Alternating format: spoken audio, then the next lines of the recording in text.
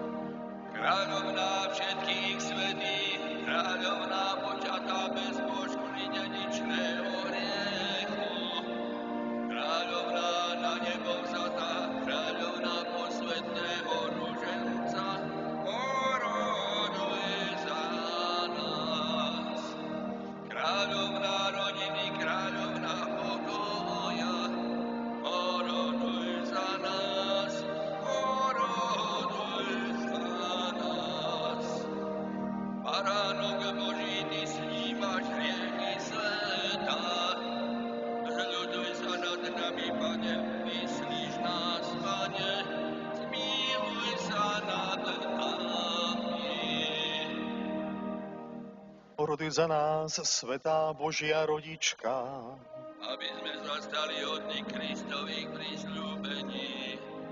Modlíme sa, Pania Bože náš, dopre nám tešiť sa zo stáleho zdravia tela i duše a na mocný príhovor pre blahoslavenej Pany Márie, ochraňuj nás v ťažkostiach tohto života a prived nás do väčšnej radosti skrze Krista nášho Pána.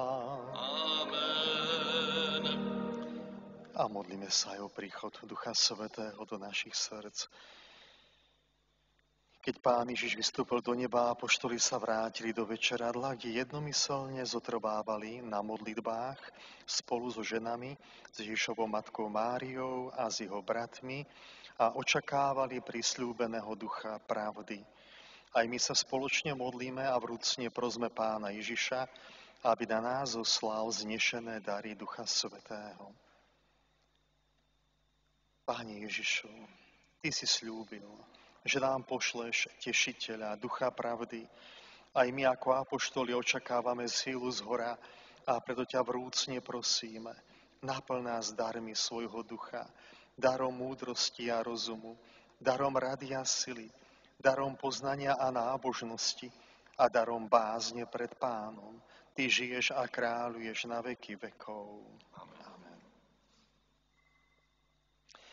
Pán hovorí, kto ma miluje, bude zachovávať moje slovo a môj otec ho bude milovať. Prídeme k nemu a urobíme si u ňoho príbytok. Toto som vám povedal, kým som ešte u vás ale tešiteľ Duch Svetý, ktorého pošle Otec v mojom mene, naučí vás všetko a pripomenie vám všetko, čo som vám povedal. Duch Svetý je práve svetlo. Svetlo, čo oblažuje a naplňa myseli srdce. V neistote sa nám stáva svetlom istoty, v beznádeji nám dáva nádej, v námahách nás osvieží, v prenasledovaniach nás neopustí. Hovorí, ak vás predvedú, aby vás vydali, nestarajte sa dopredu, čo budete hovoriť, ale hovorte, čo vám bude dané v tú hodinu. Veď to už nie vy budete hovoriť, ale Duch Svetý. Čím máme väčšie ťažkosti, tým bližšie je Božia pomoc, Duch Svetý. Práve tie najväčšie skúšky, ako sme počuli, bude v nás najbližšie ako múdrosť, ako odvaha, ako láska. Modlíme sa za dar rady a svetla Ducha Svetého. Dary milosti sú rozličné, ale duch je ten istý. Každý však dostáva prejavy ducha na všeobecný úžitok. Volajme, príď Duchu Svetý a naplná myseli srdce. Príď Duchu Svetý a naplná myseli srdce. Duch Svetý nás usvedcuje, aby sme vedeli, čo je dobré a spravodlivé. Príď Duchu Svetý a naplná myseli i srdce. Sme blahoslavení, keď trpíme pre Krista lebo to duch slávy, duch Boží spočíva na nás a učí nás odpúšťať. Príď Duchu Svetý a naplná mysel i srdce. Keď sme v ťažkých situáciách, Duch Svetý je s nami a vnúkne nám, čo máme robiť ako milované Božie deti. Príď Duchu Svetý a naplná mysel i srdce. Príď Duchu Svetý naplná svojim svetlom a udel nám dar rady, aby sme bezpečne kráčali po ceste spásy. Amen.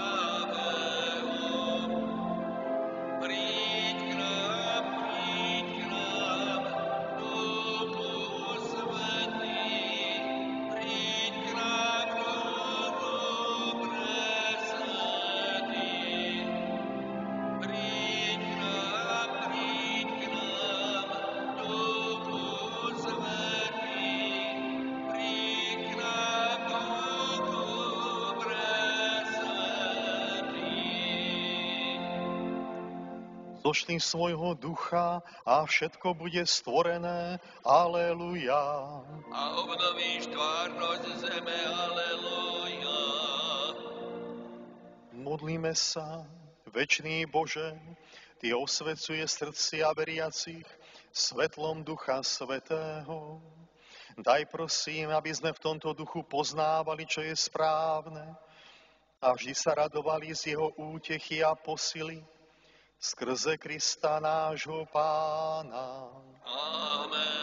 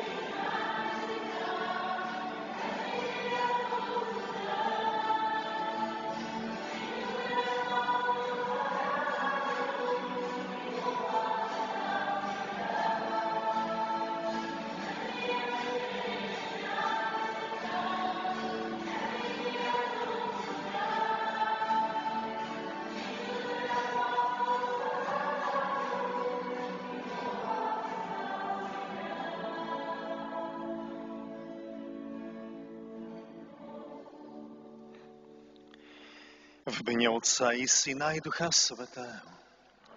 Pán s vami. Drahí mladí priatelia, osobitne drahí birmovánci, drahí birmovní rodičia, drahí rodičia, príbuzní birmovancov. Áno, sme krátko pred veľkou slávnosťou Turíc, ktorá sa v našej farnosti spája aj s tou veľkou slávnosťou udelovania sviatosti, birmovania sviatosti, kde sa dáva, udeluje dary Ducha Svetého. Máme dnes aj spomienku na svätého Filipa Neriho kniaza, ktorý bol naozaj plný Ducha Svetého a preto bol plný lásky, plný radosti, aj zdravého humoru, ktorým dokázala osloviť aj mladých ľudí aj z ulice, a viesť ich k Božej láske. Otvorme si teda aj my srdcia pre túto lásku Božiu. Dôverujme Bohu. Život je krásny, keď nie je prázdny, keď nie je iba hnaný nejakými živelnými silami, nejakými živelnými osudmi, ale keď vieme, že sme milované Božie deti a že nás vedie životom naozaj dobrý Boží duch a že sme stále tých rukách milujúceho Boha. Počúvajme teraz jeho hlas a úprimne si uznajme, že sme hriešní, že máme veľa hriechov, ale kde je veľa hriechov, tam je ešte viacej lásky a Božej milosti pre každého, kto tejto láske uverí a úprimne hriechy vie obľutovať.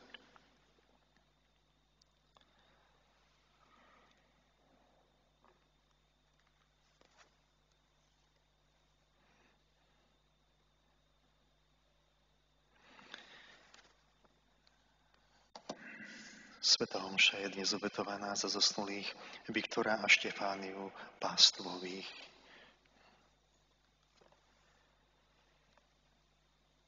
Páne Ježišu, Ty si svojou smrťou premohol našu smrť. Páne, zmiluj sa. Ty si vstal z mŕtvych, aby sme väčšine žili. Kriste, zmiluj sa. Tvojom mene dosiahneme odpustenie svojich hriechov. Pane, zmiluj sa.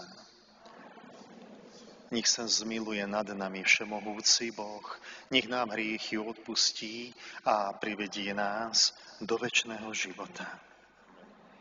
Modlíme sa.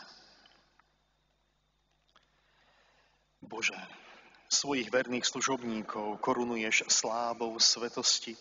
Prosíme ťa dopráj, aby Duch Svetý zapálil v nás oheň, ktorý obdivuhodne prenikol srdce svätého Filipa skrze nášho pána Ježiša Krista, tvojho syna, ktorý je Boh a s tebou žije a kráľuje v jednote Ducha Svetého po všetky veky vekov.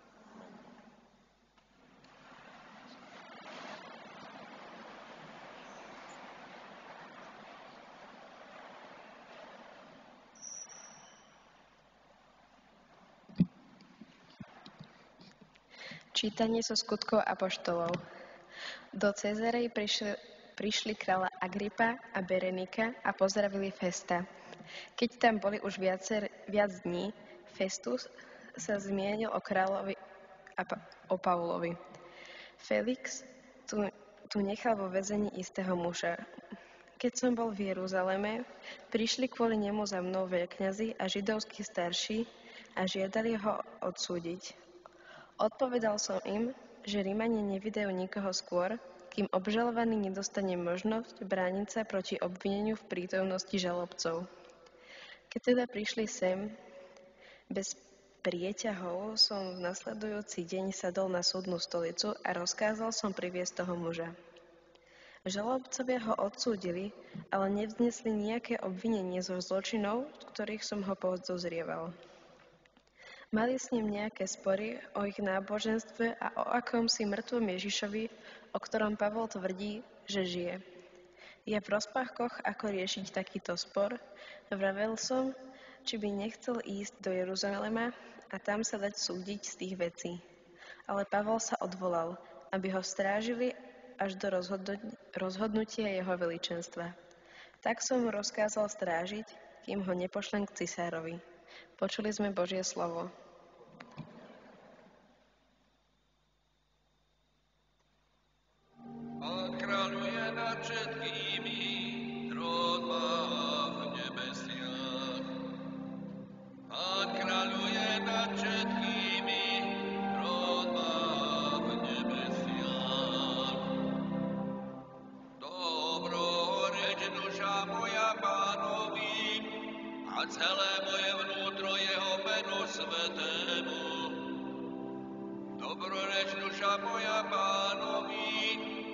يذهبون إلى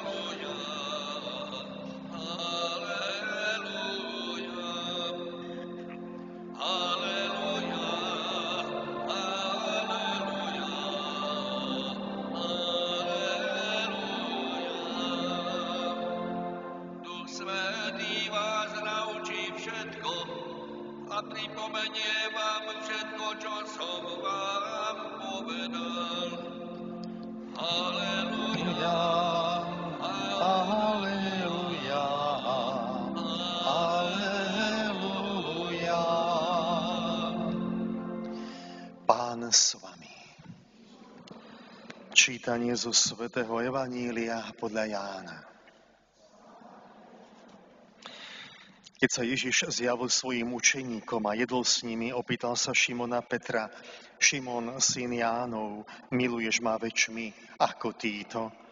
Odpovedal mu, áno, pane, ty vieš, že ťa mám rád. Ježiš mu povedal, pas moje baránky. Opýtal sa aj druhý raz, Šimon, syn Jánov, miluješ ma? On mu odpovedal, áno, pane, ty vieš, že ťa mám rád. Ježiš mu povedal, pas moje ovce. Pýtal sa ho tretí raz, Šimon, syn Jánov, máš ma rád? Petra zarmútilo, že sa ho tretí raz spýtal, máš ma rád? A povedal mu, pane, ty vieš všetko. Ty dobre vieš, že ťa mám rád. Ježiš mu povedal, pás moje ovce. Veru, veru, hovorím ti, keď si bol mladší, sám si sa opásal a chodil si, kade si chcel. Ale keď zostarneš, vystrieš ruky, iný ťa opáše a povedie, kam nechceš. To povedal, aby naznačil, akou smrťou oslávi Boha. Ako to povedal, vyzval ho, poď za mnou. Počuli sme slovo pánovo.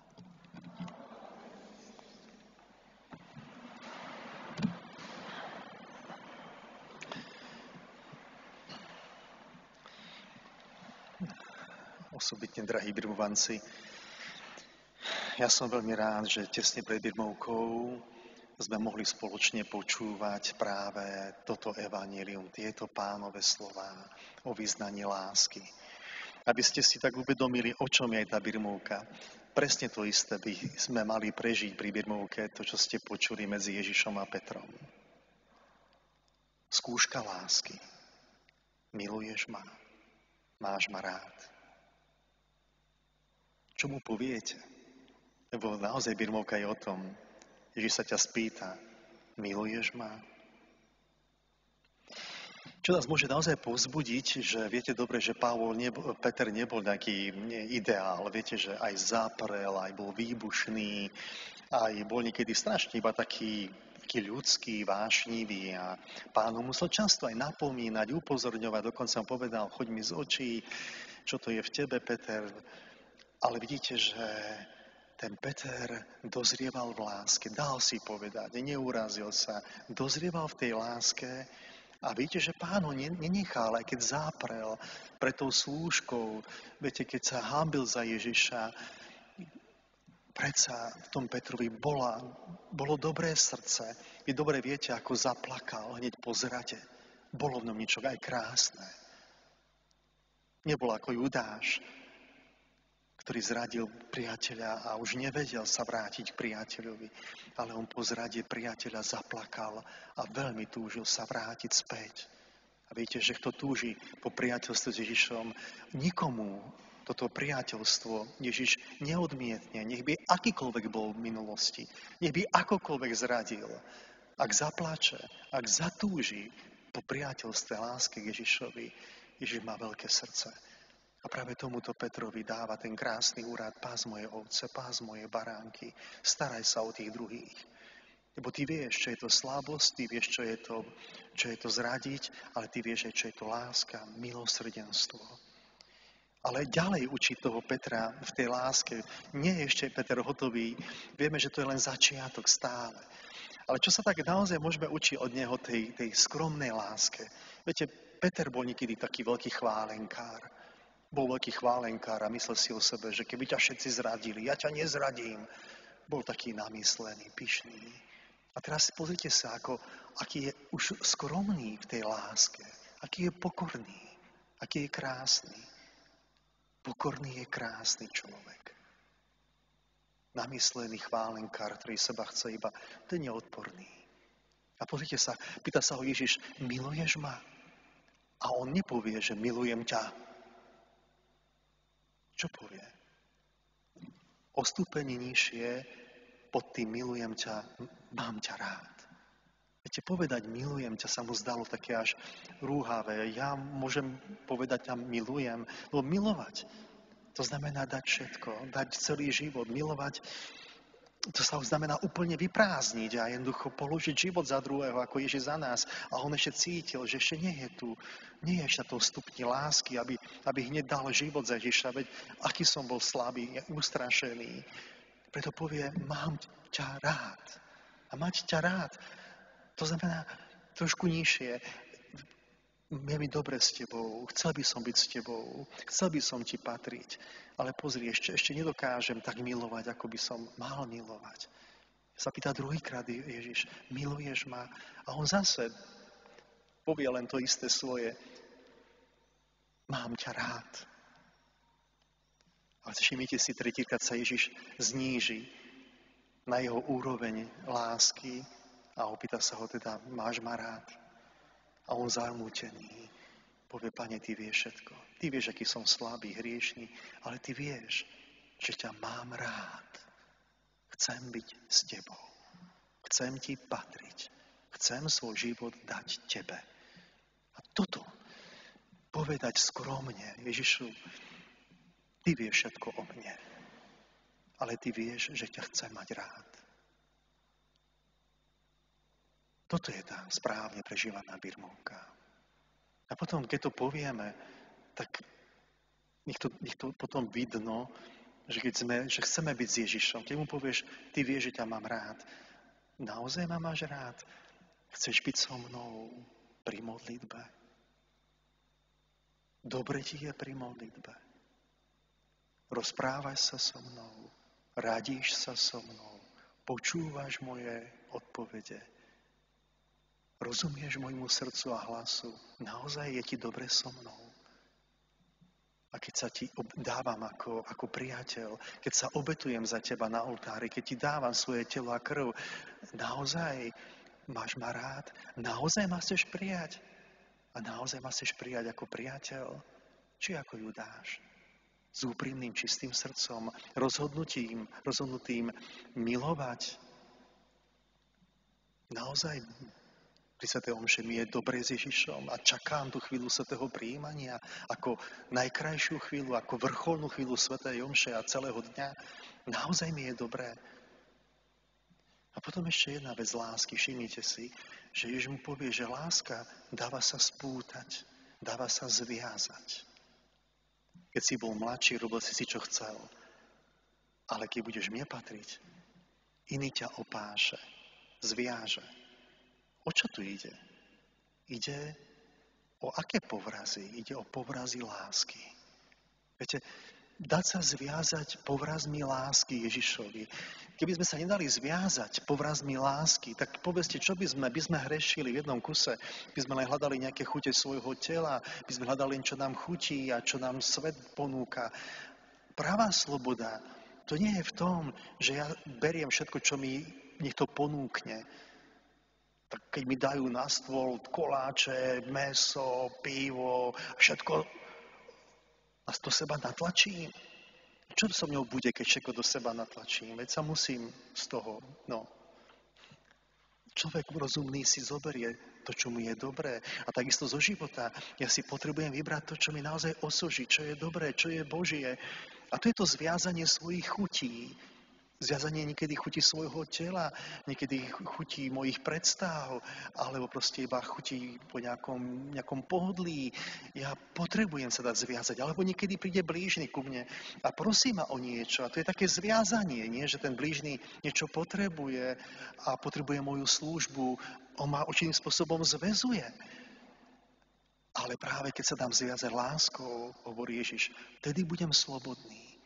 Ten, kto si myslí, že sloboda je v tom, ničím sa nezviazať a užívať si bez, bez e, miery a normy, stane sa, hovorí, že otrokom svojich chutí, otrokom svojho tela, otrokom ľudí, otrokom hriechu, otrokom zlého.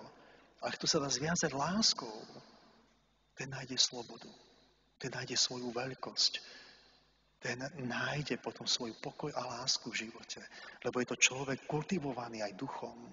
Je to človek, ktorý vie milovať. Bo vedieť milovať to znamená vedieť sa darovať. Vedieť seba dať.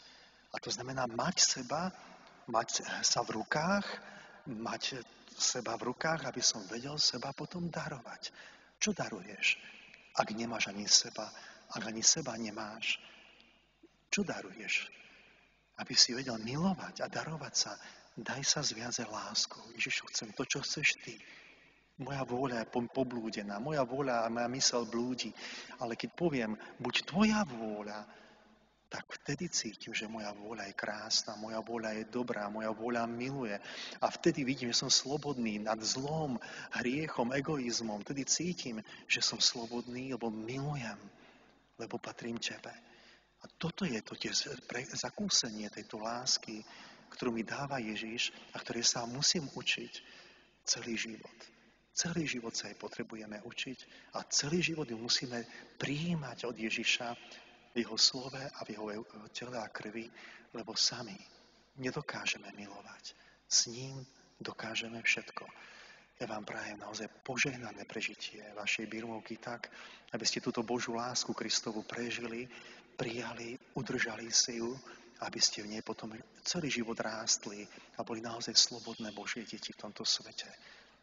Amen.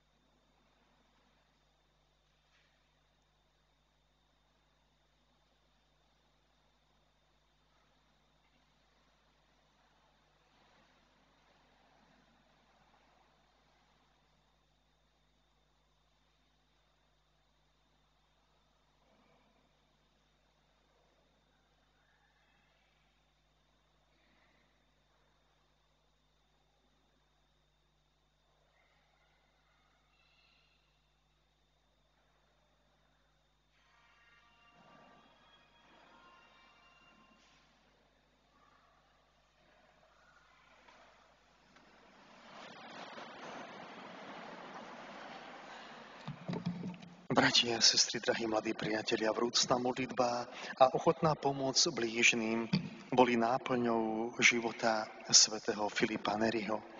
Deň spomienky na tohto obdivuhodného kňaza prosme Ježiša Krista, Božieho Syna. Pane, prosme ťa za všetkých kresťanov, aby s radosťou a pokorou pristupovali k sviatosti zmierenia a očisťovali si srdce. Prosím, myslíš nás. Ježišu, prosíme ťa za všetky národy, aby sa, pozvaním, aby sa poz, poznávaním svätého písma usilovali o duchovnú jednotu. Prosíme ťa, myslíš nás. Pane, prosíme ťa za tých, ktorí sa starajú o chorých, odmeň ich námahu a posilňuj ich v obetavej práci. Prosíme ťa, myslíš nás. Ježišu, prosíme ťa za seba samých, aby sme pri čítaní životopisov svetých rástli vo viere, prosíme ťa, vyslíš nás. Pane, prosíme ťa zo zosnulých Viktora a Štefániu, ktorých si povolal k sebe do väčšnosti, aby spočinuli v Tvojom náručí vo väčšnom svetle. Prosíme ťa, vyslíš nás. Za pokoj na Ukrajine, aby štátnici na oboch stranách hľadali také riešenia, ktoré všetkým prinesú trvalý mier. Prosíme ťa, vyslíš nás. Pane, daj, aby Tvoj verný služobník biskup Michal, ktorý toľko trpel pre Tvoje meno, bol povýšený na slávu oltára.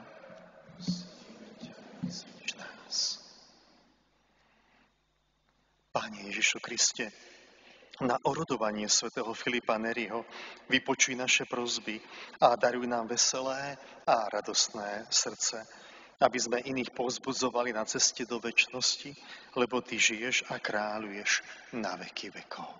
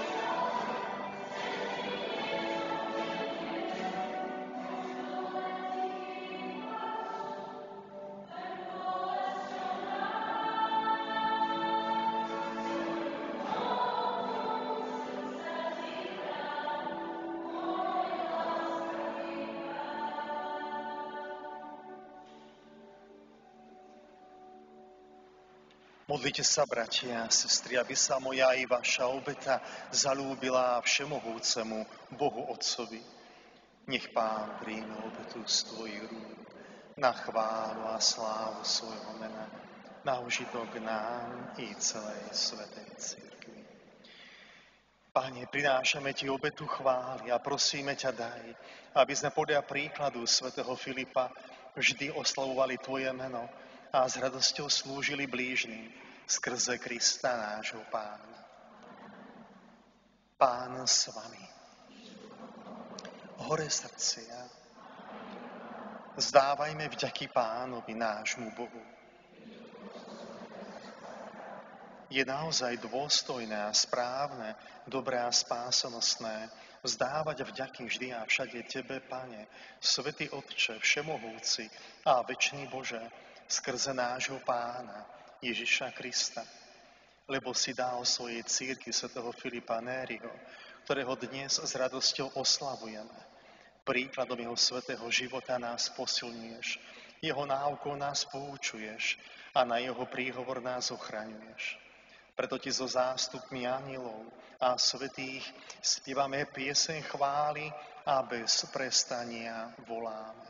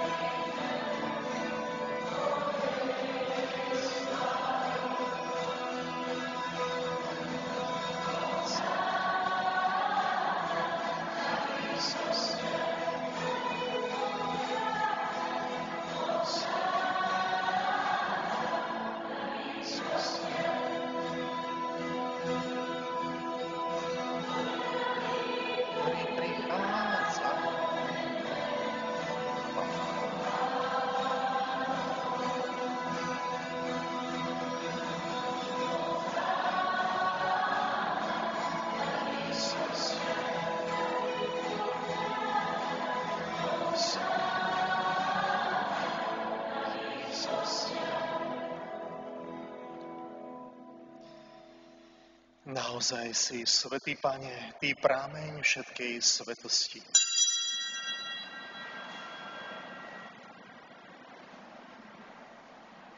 Preto ťa prosíme, posveď tieto dary rosou svojho ducha, aby sa nám stali telom a krvou nášho pána Ježiša Krista. On prv, než sa dobrovoľne vydal na smrť, vzal chlieb a vzdával vďaky. Lámal ho a dával svojim učeníkom hovoriac. Vezmite a jedzte z neho všetci, lebo toto je moje telo, ktoré sa obetuje za vás.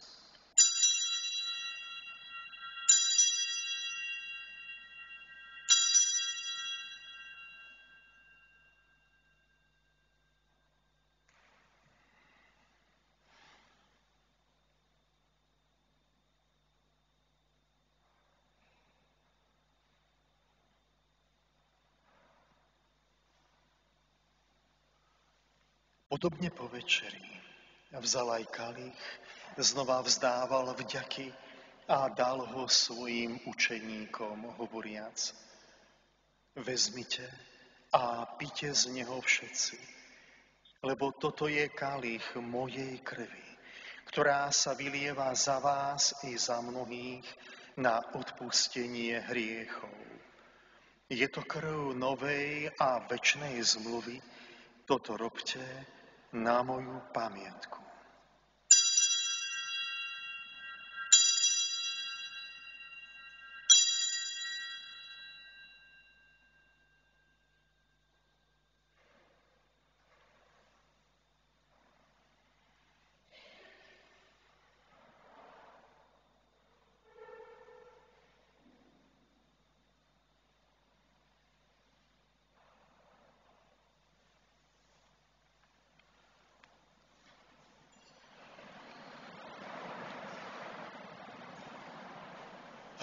Tajomstvo viery.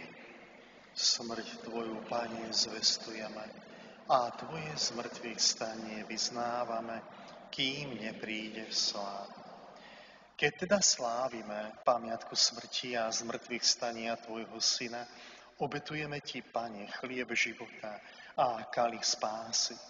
Ďakujeme Ti, že si nás uznal za hodných stáť pred Tvojou tvárou a Tebe slúžiť. Pokorne ťa prosíme, nech nás všetkých, ktorí máme účasť na Kristovom tele a krvi, združí v jedno Duch Svetý.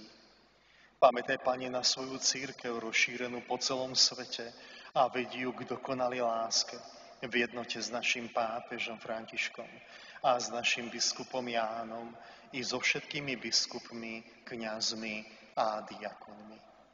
Pamätaj na našich bratov a sestry, čo zomreli v nádeji na skriesenie i na všetkých, ktorí v Tvojej milosti odišli z tohto sveta a príjmi do svetla svojej tváre. Prosíme ťa, zmiluj sa nad nami všetkými, aby sme si zaslúžili účasť na väčšnom živote v spoločenstve s preblahoslavenou Bohorodičkou Panou Máriou, so svetým Jozefom jej ženíchom, so svetými apoštolmi a so všetkými svetými, ktorých si mal od vekov zalúbenie, aby sme ťa chválili a oslavovali skrze Tvojho Syna Ježiša Krista.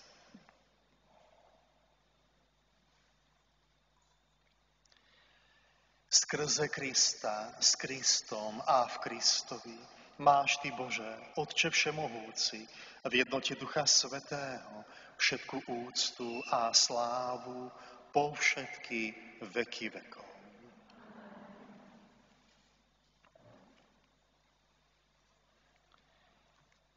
Voláme sa Božími deťmi a nimi aj sme.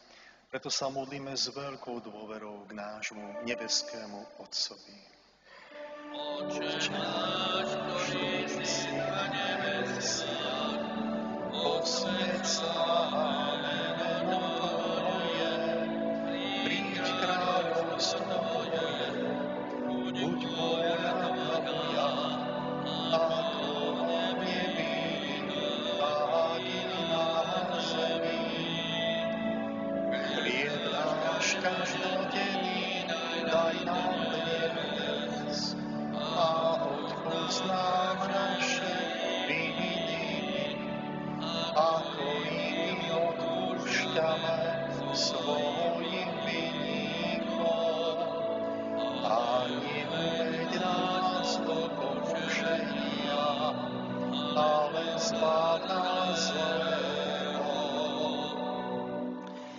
Prosíme ťa, Pane, zbav nás všetkého zla, udel svoj pokoj našim dňom a príď nám milosrdne na pomoc, aby sme boli vždy uchránení pred hriechom a pred každým nepokojom, kým očakávame blaženú nádej a príchod nášho Spasiteľa Ježiša Krista.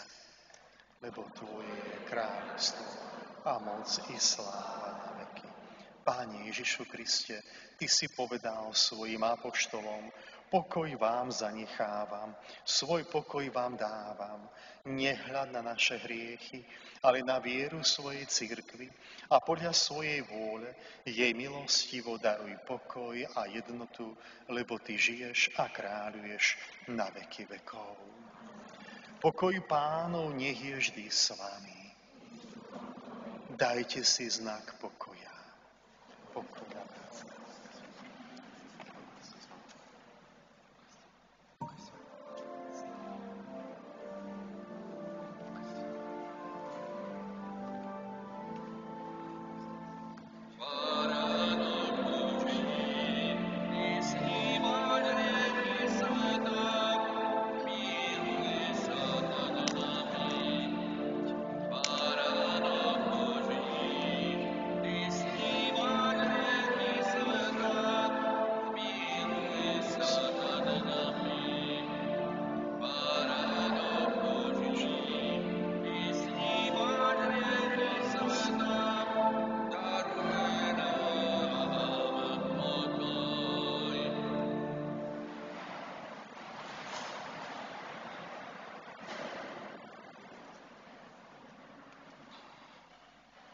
Hľa baránok Boží, ktorý sníma hriechy sveta.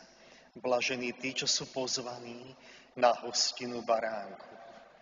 Pane, nie som hoden, aby si vošiel pod moju strchu, ale povedz iba slovo a duša mi uzdravie.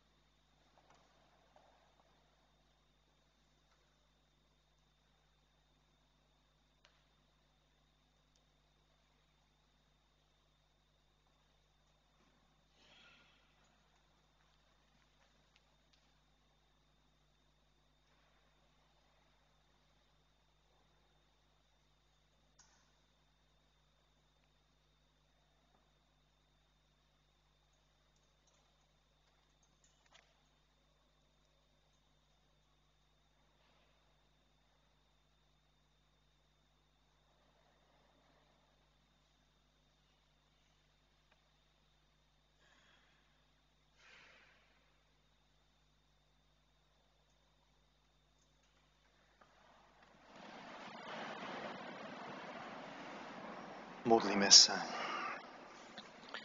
Páne, nasítil si nás nebeským pokrmom, daj prosíme, aby sme podľa príkladu svätého Filipa vždy túžili po tejto posile, ktorá v nás zveľaduje opravdivý život skrze Krista, nášho pána.